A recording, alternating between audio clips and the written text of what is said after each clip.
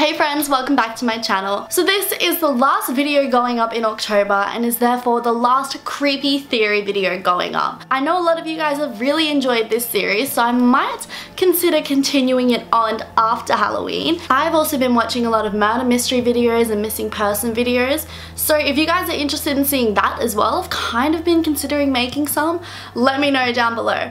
But anyway, this last creepy movie theory video is on one that I'm sure you all guessed I would have made a theory on, Hocus Pocus. It is the iconic Halloween movie, so I really couldn't do a Halloween movie series without covering this one. And let's just get on into it. So, this Hocus Pocus theory is that Allison was actually a witch the entire time. I know, when I saw this theory, I was like, oh my god, wait, what? Like, what? But just hear me out. So this entire theory is based around the idea that once the Sanderson sisters were hanged for being witches, that the town decided to elect a guardian to watch over the house and ensure that the Sanderson sisters never came back. Because a lot of people at that time didn't really understand witches and weren't sure if they did have the power to come back from the dead or not. So we already know that Allison's family are direct descendants of the original people living in Salem because their family has been there for 300 years. So it is plausible that they were elected the guardians over the Sanderson sisters' house. So for someone to be a guardian of a house that used to have three evil witches in it, they would definitely need to have some sort of magical powers of their own or be a witch of their own because otherwise there would be no match for the Sanderson sisters. So this is where the theory of Allison being a witch come in, comes in. So the theory is that Allison's family were witches, but they were good witches. And when I saw this, I was just kind of like, no, that wouldn't work with the time period because they just hung anyone that was a witch. They didn't care if you were good, bad, ugly, pretty, mm -mm. If you were a witch, you were hung. But this is an extremely rich family and with a lot of money comes a lot of respect. So possibly they were able to survive behind their money and their respect from the public to be able to survive the witch hangings and as a result we're elected the guardian over the Sanderson sisters house. So it's Allison's heritage that's really the background for her being a witch because she is the only person we meet throughout the entire movie that has had a family that has lived in Salem for that long. And her mother also worked at the Sanderson Museum but obviously stopped working there once the museum shut down due to creepy ongoings. And it would make sense for her mum to work there because if Allison and her family are witches, then they would they would know that they need to keep a close eye on the house. And the best way to do that would be through the Sanderson Museum and therefore when it shut down, they knew that it was time that the sisters would be coming back sometime soon. And some evidence to this is that even after the museum shuts down, Allison's mother's obsession with witches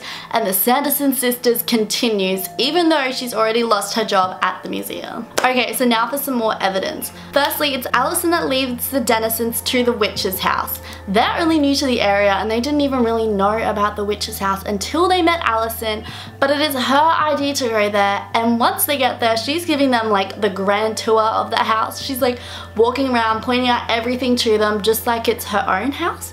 Like she's not afraid at all of any of the stuff there and is just pointing it all out giving them a grand old tour. And this is especially weird when she comes up to the creepy spell book that's like locked away. Because when she looks at it she is not afraid at all. She's laughing and talking. She almost looks kind of proud of the book and she also kind of manipulates Max into lighting the candle. Because when he says that he's gonna light the black candle, she doesn't say anything to stop him and just laughs. The only person that actually tries to stop him is the cat. However, I'm not saying Allison is a bad witch. I think that she's a good witch and the reason that I think she was going to the house on All Hallows Eve and took them with her was because she wanted to check on the house because obviously All Hallows Eve would be the time when they would come back so she needed to go there to just double check everything and this would explain why she was giving a grand tour because she was double checking everything.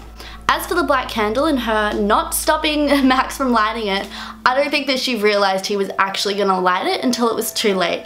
Because when the three Sanderson witches do appear, she looks terrified. Some more evidence is that Allison knows an awful lot about witchcraft, like a lot. And it's Allison who figures out that the black candle will only last until dawn and that they have until dawn to get rid of the witches. She's also the one that opens the spell book, leading the witches to them, but that informs them that they can put a circle of salt around them to protect themselves from the witches. And it's also Allison's idea to take the witches to the school, lock them in the furnace and burn them alive disgusting, but it is Allison that comes up with all of these crazy ideas. And as I said before, she knows a lot of stuff about magic. And this isn't the kind of stuff you learn in school, and the internet wasn't really a thing back then either. So it's pretty suspicious how much she knows about magic. And the first time we meet Allison, she is in fact talking about witches. It is in the classroom where Max is telling everyone that Halloween was just created by candy companies and how it's all a big conspiracy and she is the one that speaks up and explains that he is wrong. And when she meets little Thora for the first time, the first thing she says to her is, oh, I like witches. So there you go, that is all the evidence that Allison is in fact a witch. What do you guys think? I still don't know if I believe it. There's a lot of plot holes in this theory, but I think it's kind of fun to think about that Allison could potentially be a good witch. So that's all for this video and that is also all for the creepy movie theories for this month. I hope you guys like this series as much as I did because I loved it. And let me know down in the comments below if you would be interested in seeing like a miss murder mystery video or a missing persons video because I've been so into them lately. So if you guys are into them too, I would be happy to share. If you want to see more of my face, I am on Instagram, Pinterest, and Twitter. My links are down below as always and on the screen right now. And that is all for this week's video. I will see you guys again next week. Bye!